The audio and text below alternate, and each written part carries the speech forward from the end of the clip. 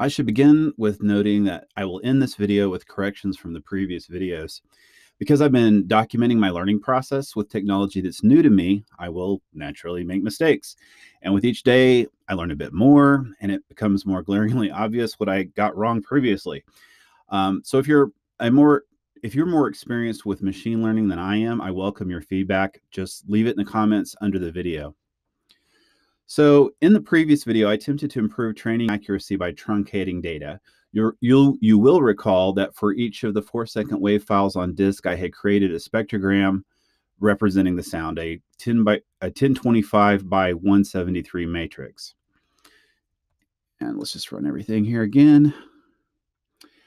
Since the training was taking so long to run and produced poor results, I had decided to downsample the spectrogram I wanted to reduce the number of rows but maintain the features.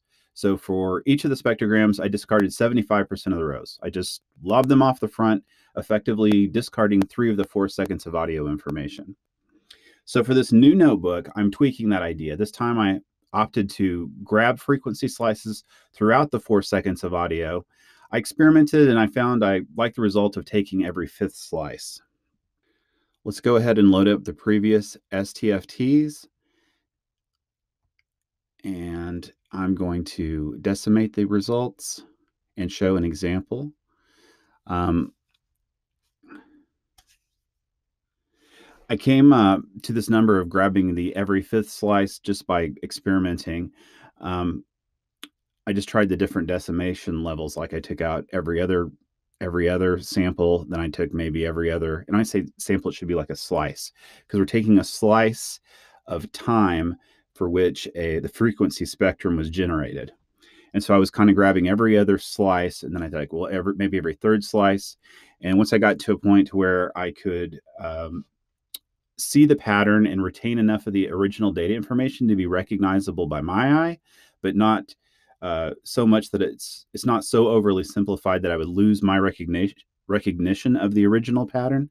And I thought, well, that seems like it would be good. So this looked good to me. It looks a lot like the original pattern. I'm talking about this this uh, uh this first histogram here, except very downsampled, um, but still retains a lot of the essential information. So I then took the uh, first I went ahead and split the train labels, test labels out, and then I went ahead and took 12 representations and spit them out. And again, if visually this looks good to my eye, if I could easily, for example, find a line that sep- that separates two parts of this visual, then I think the data is also going to be nice for uh, for the the machine learning algorithm. So we're taking a look here. This is what we're ending up with.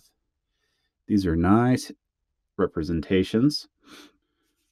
Okay, so next let's scale our values in preparation for training, build the model, create an instance of the model, and print out a summary. It's still a simple model that's only two layers deep at this point. Uh, build the model. This is all from last time, create an instance of the model, print out a model summary.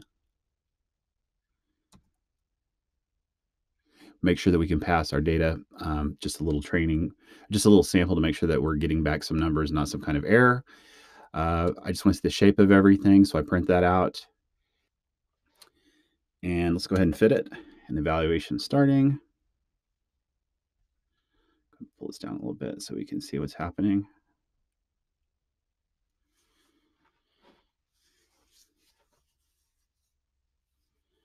As you can see, the the loss is decreasing and the accuracy is going up. It's actually going up pretty quickly.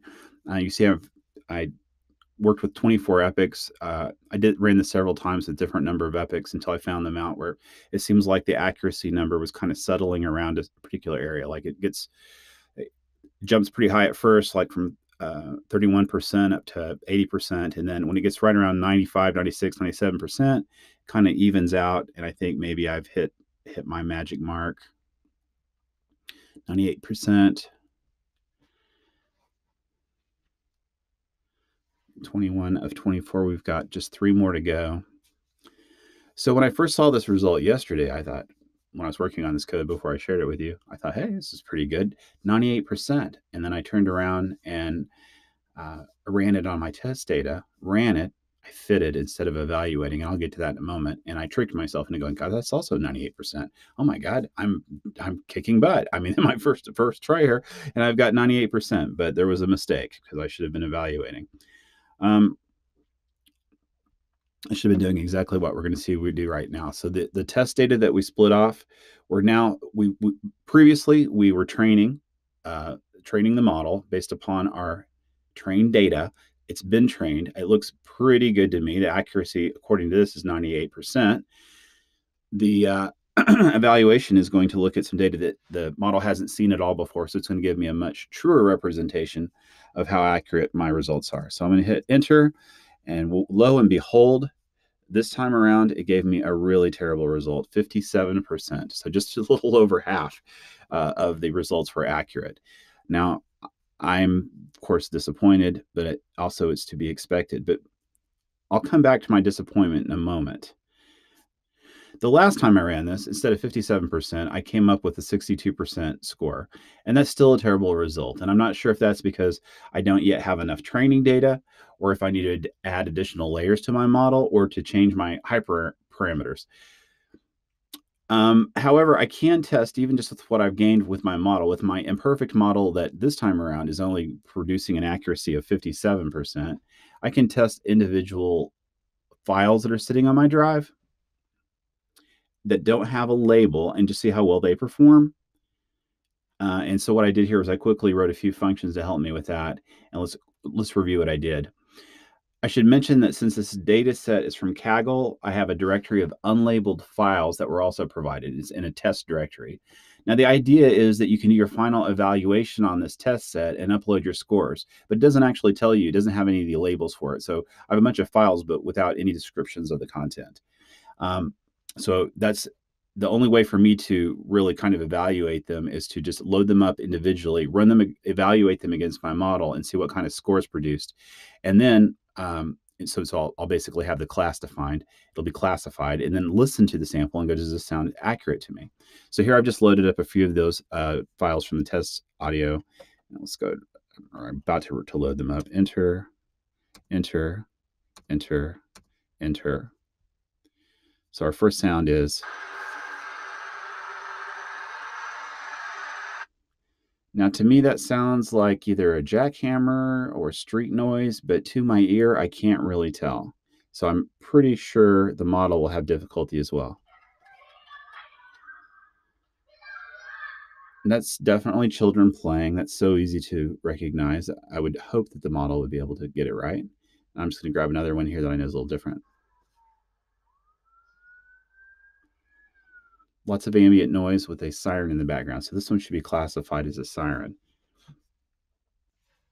Now to evaluate these files, these unlabeled files, I have to put them through all of the same processing that I did my training data so that it's an apples to apples match. So I'm going to have to first load up my files off the, the WAV files off the hard drive, convert them to STFTs. I'm going to, and I'll just show you here. I wrote, not that one. I need to get over here, click, function. That's my little function I wrote. Um, I'm just going to grab 10 of the test files and process them. And it takes a little, just a little moment. And then whenever I'm done with that, I'll go ahead through the decimation process to kind of reduce their overall size. And then I'm going to shape little function shape me up, which basically just reshapes the array for the uh, so it can be used with the model, and then converts uh, each uh, to be within the range between zero and one. So we'll do that. This is our final shape. I've got 10 files uh, and each, I have 10 samples and each one is an array of 5,536. And I'm gonna grab the first file name. It's uh, 2146.wave. Here's the audio for it.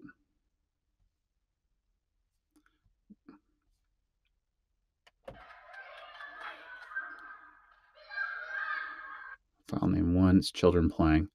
And now I'm going to call, uh, make predictions on this set. Again, need to actually click over here first. Here are my predictions. As you can see, I get back a probability distribution, and each column corresponds to a class name. And here I'm just going to print out those predictions so they're easy to look at. Okay, so this model, we already know this model is what's 56% accurate. It's going to be a crapshoot if it gets any of these right. Um, but it, currently, it predicts that uh, 3957 wave is a siren. The 2146 is children playing. Let's just go down here and grab a couple of these and see if we get them right. 3957. Could it be a siren? So I've just done this too. It'd be nice if I could uh, use this audio function in, in, a loop, but it doesn't seem to be capable in a notebook, so I have to do one at a time. All right, 3957. See what it sounds like. That does not sound like a siren, which is what I believe it it predicted. So that's bad. That was a bad prediction. 2146.